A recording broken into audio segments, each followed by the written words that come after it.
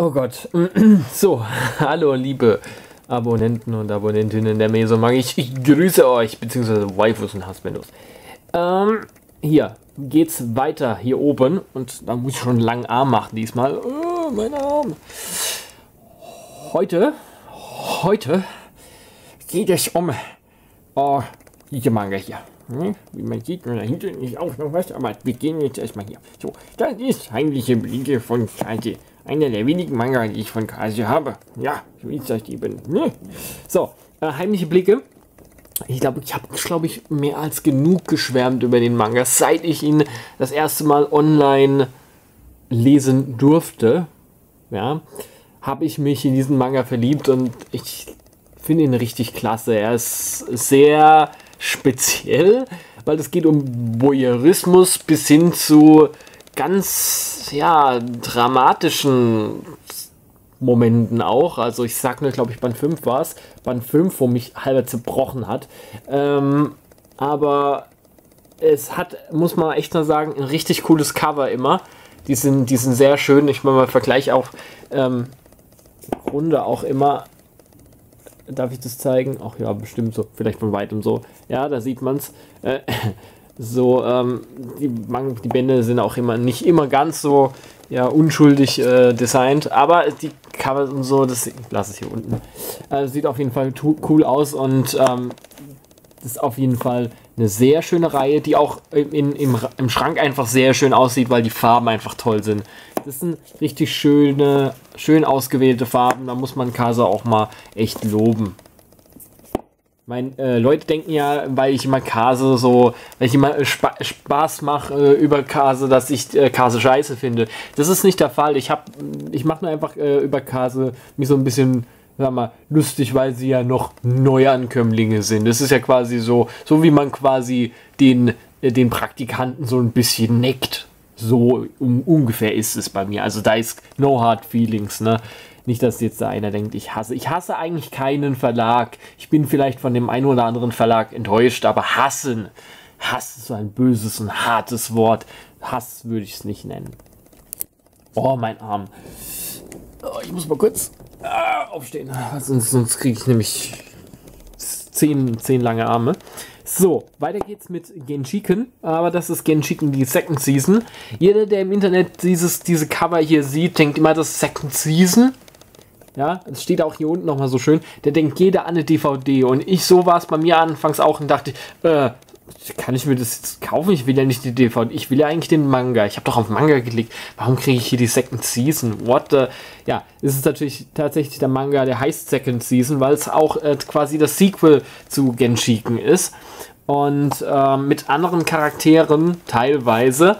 Und ähm, muss sagen, ich habe die noch nicht gelesen, weil ich bin noch äh, dabei, Genshiken als solches, also Genshiken an sich, äh, noch fertig zu lesen, mal wieder ein Reread zu machen. Ich äh, werde danach auch eine Review zu machen. Die kommt definitiv versprochen. Viele, viele äh, wollen das ja und äh, ich habe es bis heute nicht gemacht, nicht hingekriegt, aber ja, ich habe es halt auch noch nicht so wirklich durchgelesen. Deswegen, ich möchte es erstmal intensiv durchlesen, bevor ich dann wirklich dann was zu sagen kann. Und dann werde ich wahrscheinlich auch die schon so ein bisschen anfangen, um da auch noch ein bisschen die Meinung dazu zu sagen. Okay, dann haben wir. Oh, mein Arm. Dann haben wir. Achso, wieder sowas. Ähm, man erkennt es schon daran, dass hier die Rückseite ist, dass man's, dass es westliche Leserichtung ist. Ja, so ist es eben bei den älteren Schinken. Das hier ist You Are Under Arrest. Viele werden es nicht mehr kennen, aber wenn ich sage Oh my Goddess, klingelt es bei den meisten doch hoffentlich wohl noch. Und es ist der gleiche Mangaka, nämlich zwar Kosuke Fujishima. Und der Mangaka ist richtig genial, weil man merkt ihm halt so richtig an, vor allem bei Oh My Goddess, wie er anfängt richtig gut zu werden und mit, mit, richtig gut meine ich richtig gut. Der hat ja am Anfang richtig hässlich, mega hässlich gezeichnet und dann später hat er traumhaft schöne Figuren und Hintergründe und das ist der Wahnsinn, was der Mann zeichnen kann mittlerweile. Ähm, das ist echt ein Traum auf, auf Papier. So äh, tue ich seine Zeichnungen immer gerne ähm, erklären. Und ja, You Are Under Arrest äh, handelt von zwei Polizistinnen, die eben ähm, auf Gangsterjagd gehen. ja, so kann man es mal so ohne großartig irgendwas. Also es ist viel Comedy und ähm, ja, sehr geil auf jeden Fall. Ich habe auch mal hier ein bisschen reingeguckt, bin aber noch nicht so wirklich dazu gekommen, das intensiver zu machen. Mache ich auch noch. Hier hat übrigens hier so ein schönes, zwar relativ unbedeutendes, weil ich weiß nicht, ich finde, wenn die Stärke nicht so toll ist, guck mal, das erkennt man hier auf der Kamera kaum. Ja, und wenn da nicht jetzt gerade Licht drauf ist, erkennt man es noch weniger. Also dieses Rückenbild. Ist zwar schön, dass es ein Rückenbild hat, ich mag das. Ich hab, es erinnert mich immer so an die alten ähm, lustigen Taschenbücher. Die hatten doch auch immer so Rückenbilder. Ich meine, das war so. Zumindest ab einer gewissen Zeit. Ähm, aber ja, das, das ist halt irgendwie nix. Schlecht ist nicht, aber es ist auch nicht gut. So, dann kommen wir zu einem weiteren Kase-Manga, worauf ich mich freue, weil der Mangaka zeichnet ja weiter an Iris Zero. So heißt der Manga. Ist ein Mystery. Äh, Slice of Life irgendwie. Mystery und Slice of Life, der ist zwar, er geht um Mobbing und so weiter, Außenseiter-Kram, aber auch viel um so detektivmäßig, so ein bisschen so Mystery-mäßig ähm, hinter die Wahrheit zu kommen und so. Ähm, aber ja, es ist im Moment halt äh, auf Pause bei Band 5 und ich hoffe, dass Kase nicht abbrechen wird. Das wäre mega ärgerlich, weil Iris Zero ist dafür, dass man, wenn man sich so die Bände anguckt, eigentlich nicht so viel erwartet, außer dass es vielleicht hübsch gezeichnet ist, erstaunlich gut. Erstaunlich gut und erstaunlich unterhaltsam. Also ähm, auch die Charaktere sind interessant, die sehen äh, sind interessanter, als sie quasi aussehen. Also der Charakter, die Charaktere an sich haben mehr Charakter, als ihr Aussehen es vielleicht zugeben mag. Also sehr geil, macht richtig Spaß. Äh, Iron Zero, ich hoffe, es geht weiter. Es wäre so mega gut. So, ich werde mich jetzt erstmal kurz verabschieden. Ihr seht mich dann gleich wieder und dann ist hier die vordere Reihe weg, damit wir uns um die hintere Reihe kümmern können. Bis gleich. So, da sind wir wieder zurück, back in action und es geht direkt weiter äh, mit, äh, ich, ich habe Angst, mit äh, Record of Lodos War. Wieder alter Manga, wirklich alter Manga. Ähm, wer Herr der Ringe zum Beispiel, wer Herr der Ringe Fan ist und so Fantasy nicht abgeneigt ist, mit Elfen und Berserkern und Kriegern und Drachen und Dunkelelfen gibt es auch, genau. Ähm, so Sachen. Und Magierinnen, Zauberer und so weiter. Ähm, Könige, ihr wisst, was ich meine, ne? Ähm, wer sowas, sowas geil findet, der sollte sich auf jeden Fall mal Record of Lodos War geben. Ähm, jeder, der. Muss ich nachher mal kurz gucken, das fühlt sich irgendwie komisch an. Ich glaube, ich muss die mal ein bisschen äh, trocknen. Die haben hier gerade ein bisschen zu viel Feuchtigkeit aufgenommen. Das kann passieren, gerade bei den älteren Manga. Ich weiß nicht, woher das kommt. Das ist nur bei älteren Manga vor allem. Ja, dass es so eine, leicht, so eine leichte Feuchtigkeit hat. Okay. Muss man vorsichtig sein, dass es nicht schimmelt. Warte mal kurz. Nein, kein Schimmel. Okay. Komisch. Komisch, komisch. Vielleicht liegt es auch an der Wand. So ein bisschen, ja, die Wand ist auch leicht feucht. Hui, hui, hui. Muss ich mal gucken. Muss ich vielleicht mal wieder extrem die äh, Ultralüfter hier hinstellen und da mal durchblasen. Ähm, Record of Lotus War hat äh, mehrere, ja, ähm, wie könnte man das nennen? Sagen, Seasons, äh, Einteilungen, ja. Äh, quasi wie Herr der Ringe auch ähm, in verschiedenen Geschichten unterteilt ist, zum Beispiel in den Filmen quasi ja, gibt es ja äh, die Gefährten, bla bla bla und so weiter, hat halt äh, Record of Lotus War das ebenfalls. Und zwar äh, beginnt es mit die graue Hexe. Geht halt um eine Hexe, ne? Logisch. Aber. So, geht um die, mit die graue Hexe. Das sind drei Bände. Dann ähm, Chroniken von Flame. Flame ist das Königreich. War, glaube ich, so, ne? Ähm, in vier Bänden das ist quasi Sequel, also das sind äh, andere, das ist ein anderer Held dann ähm, als Pan. Pan und äh, Dietlitz sind hier, äh, kommen hier nur ähm, als Cameo, sag ich mal, vor oder als ja so nebenbei halt. Und ähm, was warst du denn nochmal? Es wundert mich auch gerade, das ist mir gar nicht aufgefallen, dass das so ein. Das ist aber noch Chroniken von Flame, ja? Es wundert mich gerade, dass sie das so weggemacht haben. Hm. Komisch. Ah, man muss es nicht verstehen. ähm, hat, nee, nicht vier Bände, sondern hat sechs Bände, genau. In sechs Bänden abgeschlossen, sorry. Also Chroniken von Flame in sechs, die Graue Hexe in drei. Und das sollte man auch so in der Reihenfolge lesen, weil sonst wird's. Äh, und dann ähm, hat der Mangaka gesagt, er wollte schon immer mal ein Jojo zeichnen. Das ist eigentlich voll witzig. Äh, und hat einen äh, Jojo-Manga gezeichnet. Und zwar Deedlit. Band 1 und 2. Und es spielt in, nach der nach der Arc mit äh, Chroniken von Flame. Ja, Deedlit ist ja eine Elfe. Die kann ja ein bisschen ähm, spielt aber, glaube ich, in der Vergangenheit. Aber es wird irgendwie danach gelesen. Frag mich nicht. Ich weiß es nicht mehr so ganz eindeutig, bevor ich da jetzt was sage. Auf jeden Fall sehr cool und vor allem ist auch mal interessant zu sehen, jemanden, der sonst eigentlich eher so äh, Shonen, Seinen-mäßig äh, irgendwelche Kriege und Kämpfe und ähm, sonst was, so Fantasy-mäßig, was äh, zeichnet, dann auf einmal einen Sprung macht und versucht, einen Shosho-Style hinzukriegen. Sehr nice, sehr nice, hat mir sehr gut gefallen. War, war interessant und war ähm, auch gut. Also Diedlet war nicht schlecht. War nicht schlecht. Und wer Diedlet mag, vor allem den Charakter, der kann da sowieso nichts falsch machen.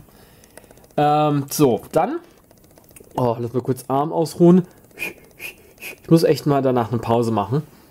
Ähm, dann haben wir äh, ich verkrampfe mich vor allem immer. Ich habe ein ganz großes Problem, weil ich verkrampfe mich bei allem, was ich tue. Sobald ich länger irgendwas in der Hand halte oder so, verkrampft sich mein kompletter Arm.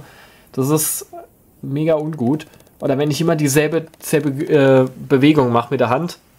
Ja, immer dieselbe, ja, nein, irgendwie immer so oder ich mache das alles, was ich mache, ist gerade falsch. Ah, äh, Knights of Sidonia, meine lieben äh, Freunde, äh, von äh, Tsutomu Nihei. Ich habe ja schon mal, glaube ich, erwähnt, dass ich ein großer Tsutomu Nihei-Fan bin, weil der macht einfach, ähm, ich, ich äh, nenne ihn gerne, er ist so ein bisschen der Miura des Science-Fiction-Horrors. Ja, also er macht so, so wirklich, er macht Gemälde. Er macht teilweise nicht nur Standard Comic-Strips und so, sondern teilweise echt fucking Gemälde. Und er hat einen sehr, sehr eigen, eigenen äh, Zeichenstil. Und ähm, wer jetzt denkt, okay, was ist denn das, worum dreht sich da? Ja, ähm, wenn ich jetzt sage Mecker, dann rennt wieder die Hälfte weg. Ich weiß das. Ich weiß das. Aber ähm, ich glaube, ich kann mal nur so viel sagen. Wenn man sich so ein bisschen anguckt, es ist nicht so ohne. Es ist vor allem ähm, ziemlich strange auch. Ähm, aber es ist nicht äh, so ein typischer Mecha-Manga, äh, den ihr jetzt so kennt, zum Beispiel Gundam oder Neon Genesis oder so. Ach, Genesis, Entschuldigung, jetzt fange ich damit auch schon an. Äh, Neon äh, Genesis Evangelion, äh, sondern es ist ja, Science-Fiction, Endzeit-Horror mäßig. So ein bisschen. Also es ist schon an manchen Stellen creepy. Ich würde Knights of Sidonia nicht als Horror einstufen, aber es, es hat seine seine, okay, weird viel Momente.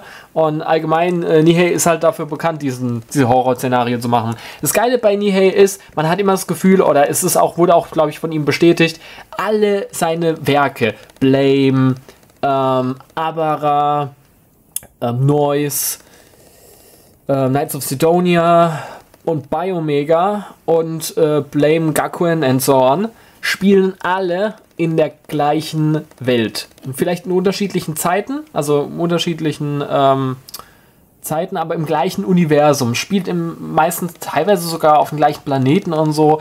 Ähm, immer wieder eine, äh, die eine ähm, Firma, die immer wieder mal erwähnt wird, wird, glaube ich, in sämtlichen Manga erwähnt von ihm. Also es ist schon sehr, sehr spannend an sich, äh, auch mal da so ein bisschen Parallelen zu suchen und zu finden.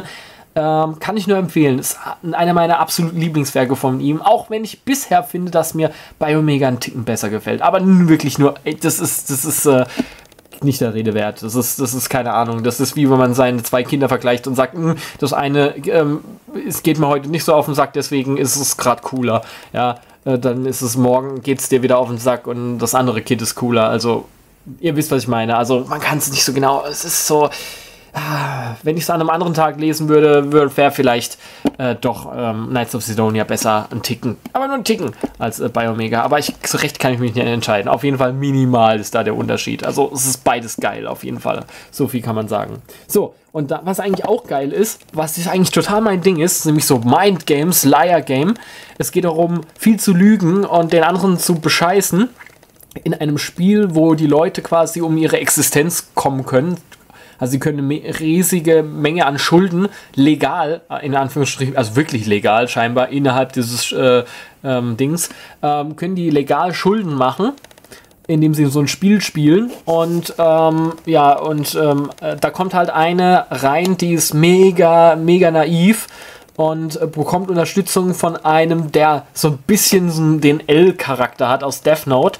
Und ähm, der hilft ihr dann und der ist dafür bekannt, dass er irgendwie eine ganz riesige große Firma in Bankrott alleine getrieben hat. Also der hat schon was drauf und äh, war auch im Gefängnis und hilft ihr jetzt, dieser armen, naiven ähm, jungen Frau, weil die eben halt in diese Schulden gekommen ist und hat, weiß nicht, was sie jetzt tun soll.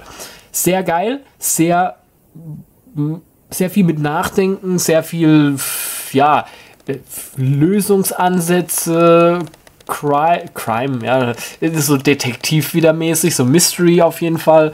Und es macht Spaß, es macht dieses Hin und Her und so. Es ist ähnlich wie bei Death Note, kann man wirklich sagen. Und ähm, auch ähnlich spannend. Gut, in diesem Sinne, mein Arm fällt ab. Das heißt, bis dahin und bye bye und tschüss.